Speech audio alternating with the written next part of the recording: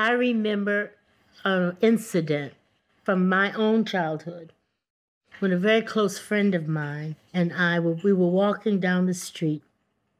We were discussing whether God existed. And she said he did not. And I said he did. But then she said she had proof. She said, I have been praying for two years for blue eyes, and he never gave me any. So I just remember turning around and looking at her. She was very, very black, and she was very, very, very, very beautiful. How painful. Can you imagine that kind of pain? About that, about color. So I wanted to say, you know, this kind of racism hurts. This is not lynchings and murders and drownings. This is interior pain.